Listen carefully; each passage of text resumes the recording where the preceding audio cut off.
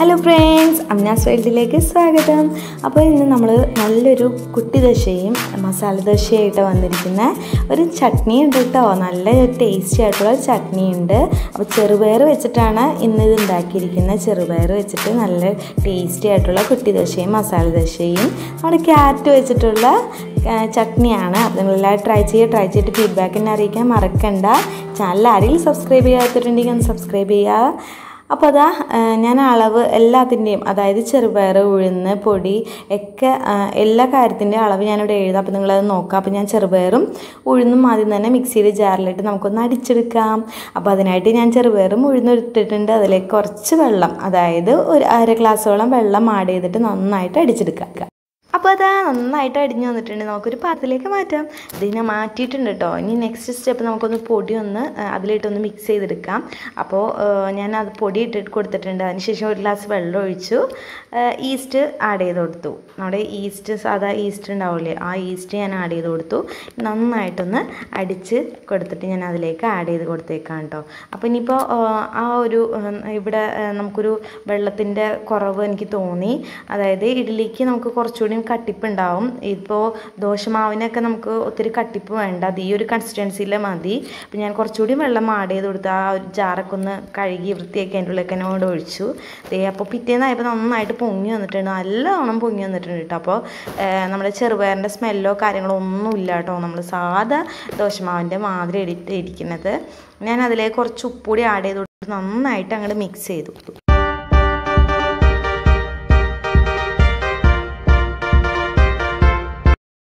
ഇനി നമുക്ക് കുട്ടി ദോശ ആദ്യമായിട്ട് ചുടാം. അതിനായിട്ട് ഇതേ പാൻ വെച്ചിട്ടുണ്ട്. അപ്പോൾ നിങ്ങൾ ദോശക്കല്ലുണ്ടെങ്കിൽ അത് നല്ലതാണ് കേട്ടോ അപ്പോൾ എന്റെ കയ്യിൽ ഇതുള്ളൂ.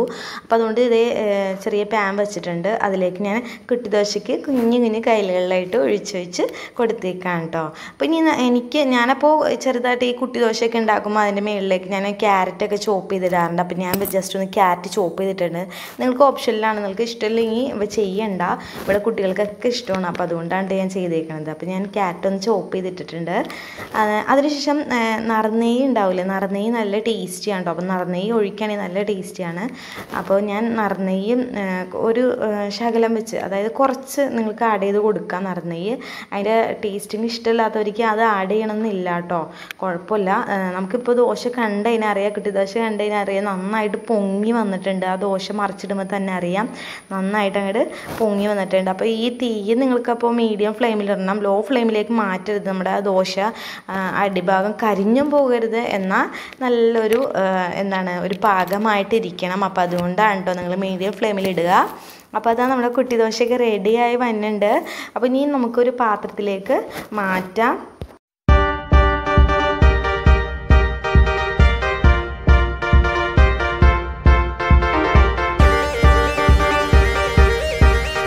അത് ആ കുട്ടി ദോശയ്ക്ക് ഞാൻ മാറ്റിയിട്ടുണ്ട്. ഇനി നമുക്ക് മസാല ദോശ ചുട്ട് വെക്കാം അപ്പോൾ അത് മസാല ദോശയ്ക്ക് ഞാൻ ഒഴിച്ച് മാവ് ഒഴിച്ചിട്ട് ഞാൻ നന്നായിട്ട് പരത്തി കൊടുത്തിട്ടുണ്ട് കേട്ടോ അപ്പോൾ ഇങ്ങനത്തെ ഒരു ചെറിയൊരു തവി എടുത്തേക്കുന്നത് ഈ തവി ഇട്ട് വെച്ച് തന്നെ ഇങ്ങനെ ഒന്ന് ജസ്റ്റ് എന്താണ് എല്ലാ ഭാഗത്തേക്കും ആക്കി കൊടുത്തിട്ടുണ്ട്. അതിനുശേഷം ഞാൻ കുറച്ച് നെയ്യ് ഒഴിച്ച് ഇതാക്കി സ്പ്രെഡ് ചെയ്ത് കൊടുത്തേക്കുണ്ട്.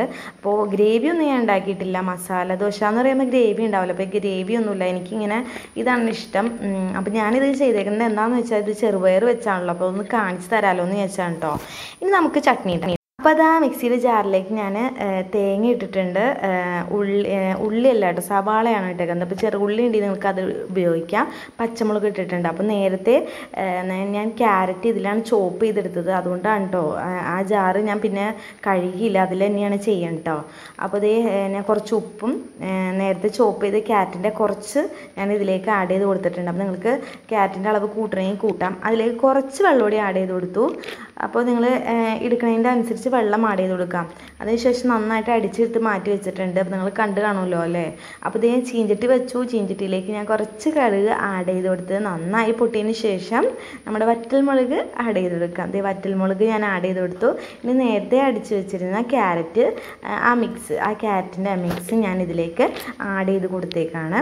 നല്ല ടേസ്റ്റി ആയിട്ടുള്ള ചട്നിയാണ് കേട്ടോ നല്ല ടേസ്റ്റ് ഉണ്ട്. അപ്പം ഞാൻ അതുകൊണ്ട് മാത്രമാണ് ഈ ചട്നിയും നമ്മുടെ ഈ ദോശയും കുട്ടി ദോശയും മസാല ദോശയൊക്കെ ഞാൻ ഇട്ടത്. ഞാൻ എല്ലാം ട്രൈ ചെയ്തിട്ടാണ് ഞാൻ ഇടാറുള്ളൂ. അപ്പോൾ നിങ്ങൾ എല്ലാവരും ട്രൈ ചെയ്യണം കേട്ടോ. അപ്പോൾ നമ്മുടെ കുട്ടി ദോശയും മസാല ദോശയും റെഡി ആയിട്ടുണ്ട്. അതിനോടൊപ്പം നമ്മുടെ ചട്നിയും റെഡി ആയിട്ടുണ്ട്. നല്ല ടേസ്റ്റിയുള്ള ഒരു ഐറ്റമാണ് അപ്പോൾ നിങ്ങളെല്ലാവരും ട്രൈ ചെയ്യുക നമ്മുടെ ചെറുപയർ വെച്ചിട്ടുള്ള മസാല ദോശയും കുട്ടി ദോശയും ഒക്കെ ട്രൈ ചെയ്ത് നോക്കാം. ട്രൈ ചെയ്തിട്ട് ഫീഡ്ബാക്ക് എന്നെ അറിയിക്കാൻ ആരും മറക്കണ്ട. അപ്പോൾ നിങ്ങളെല്ലാവരും ട്രൈ ചെയ്യാം കേട്ടോ. അപ്പോൾ ഇൻഷാല്ല അടുത്ത എപ്പിസോഡിൽ അടുത്ത വിഭവമായിട്ട് കാണാം കേട്ടോ